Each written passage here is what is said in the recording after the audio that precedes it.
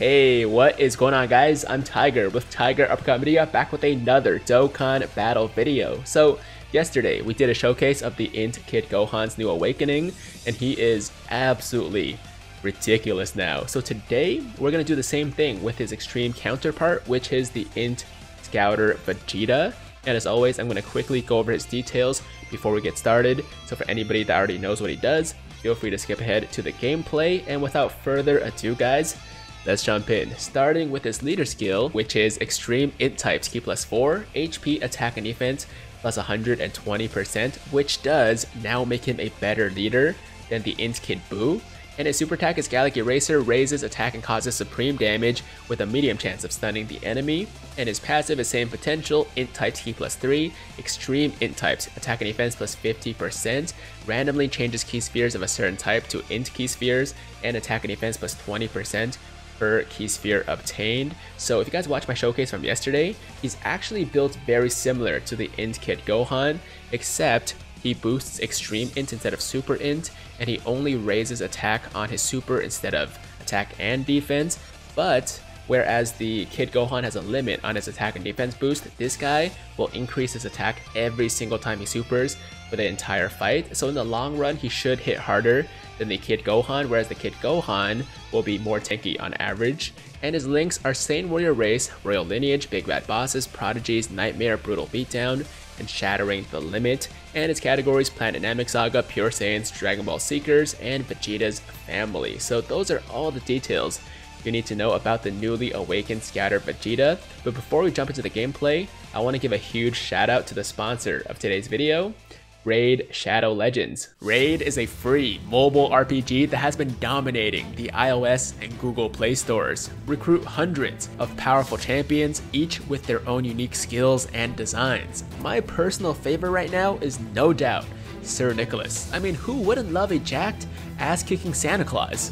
Collect tons of rare artifacts to power up your champions and take on the exciting new Faction Wars feature that just dropped. As of right now, Raid has a near perfect score in the Google Play Store with over 300,000 reviews. So what are you guys waiting for? Start playing today and take advantage of the amazing 90-day reward program and use the special links in my description to receive an additional 100,000 silver, 50 gems, 1 energy refill, and the incredibly powerful champion Executioner. Of course, all of this treasure can be found in your gift box right over here, but don't delay because this offer will only be available for the next 30 days. Once again, thank you very much to Raid Shadow Legends for sponsoring today's video. It really means a lot. And without further ado guys, let's dive into the gameplay and see what this Vegeta can do. So on the first rotation, we're going to link him with the uh, Tech Blue Vegeta for that Prodigies link and we're getting a fair amount of orbs here. We have 1, 2, 3, 4, 5, 6, 7, 8, 9, 10, 11.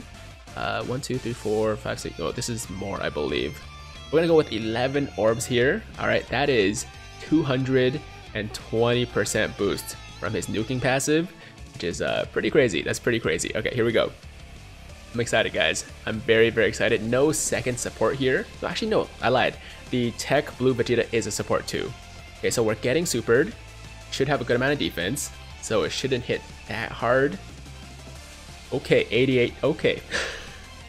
88 damage on the super guys. Um, our attack stat went up to over 2 million. That's the first attack. That is the first attack, guys. That's crazy. That's crazy. And we don't even have another support. So what I was saying before is on the next time, on the next turn that he comes back, we should also have Tech Bulla as support, so basically triple support, and things could get even crazier than they just did. Man, that is wild though. Yo, first turn, what was it, 11 orbs we got? 11 orbs, right? 11 orbs, and the damage, wow, okay. Um, I mean, obviously, I, I expected this, like, kind of, because we already showcased the Kid Gohan, who is pretty similar. Um, but it still blows me away, man, that, that, that they made these awakenings that good. Like, they could have just made them pretty good awakenings, like decent awakenings, and gone away with it. But instead, Bandai was like, nah, we're gonna make these like type supports, mono type supports, some of the best non-Dokkan Fest units in the game. They really are. Like, I, I don't think they stack up, obviously, with like some of the newer you know, Dokkan Fest exclusives, but as far as non-Dokkan Fest units go, they're two of the best, man. They're like on the top 10, top 15 list maybe. Um, just really, really freaking good. I think overall, I'd probably still put the Gohan over this Vegeta, uh, just because the defense is clutch, right? The fact that the Gohan can raise his own defense too for 9 turns, that makes a big difference. But, I mean, this guy is still ridiculous. Okay, we got 1, 2, 3, 4, 5, 6, 7, 8. We got 8 orbs here. Not too bad. Obviously, getting those uh, extra orbs from his passive, uh, where he changes the orbs for himself, so he's very self-sufficient in that sense. Okay, we got basically 3 supports now and 2 million. Okay, so we basically lost some extra damage that we could have gotten uh, because we didn't get as many orbs last time. Okay, additional 2.1, almost 2.2 million. Yo, this guy is showing out. Holy crap. Oh, I keep forgetting to show you guys the defense. Crap. Okay, next time. Next turn, I promise. I'll show you guys what, what his defense is after we get the orbs, because obviously he does get that huge boost. I'm curious to see what the boost is actually looking like. But uh, just from a offensive perspective so far, what more do you need to see, man? Of course, like I said, he, he raises attack every single turn. There's no limit to it. Uh, like with the Gohan, this guy will get attack for as long as the fight lasts. So if you're running like the legendary Goku event, his defense will, will become pretty crazy. The only issue, of course, is that he doesn't get defense, so he will be getting hit pretty hard if you don't get a lot of orbs. But I think from a defensive perspective, as far as tanking goes, he should do pretty well too on the Legendary Goku event because he gets so much defense with the with the orbs, right? So uh, I mean, we'll see for sure in a second. I think if we get something something like eight to ten orbs, he should have over 200,000 defense, which in most cases is enough to at least not get you killed by like a MUI super, right? So we'll see, we'll see. Oh man, I can't wait. I already said this before, but I can't wait for the other supports to get Awakenings too, man. Tech Tien, um, the STR Hit, STR Cabba. Uh, I would say I would say Physical Super Buu, but I don't have Physical Super Buu, so for now, and you know what? Now I'm just thinking about it, I'm thinking about it. I'm like, why did they give these guys such good awakenings? Obviously, it's because they want people to summon on the type banners. Does that mean that we're gonna be able to do like unlimited multis again on the type banners? or not. I don't really know. See, you guys weren't around um, maybe like a year ago, year and a half, two years ago, however long it's been since we could do it. Uh, we used to be able to have unlimited summons, unlimited multis on the type banners. Now, like these days, for the past couple, like year, year and a half, something like that, um, we've only been able to do one multi and that's it, right? So that kind of sucks. But in the past, we were able to do as many multis as we wanted on the type banners, which was awesome, and that's why a lot of people are able, were able to get these like type supports, right? But these days we can only do one multi, which uh, makes it really hard for people to get these supports, right? So I'm wondering now, like because they gave awakenings to these guys and are obviously going to give awakenings to the other type supports too from the type banners, will we be able to do unlimited multis once again, or do we have to like start buying them with the blue coins. Maybe it's an incentive for people to actually buy the uh, you know buy the supports with the blue coins, right? Because in the past, before, like people didn't really care. People wouldn't have anything to do with the blue coins. So like I could buy Kais, I guess, but it feels like kind of a waste. Uh, but the only other thing you could buy was the supports, and they're really not that good anymore.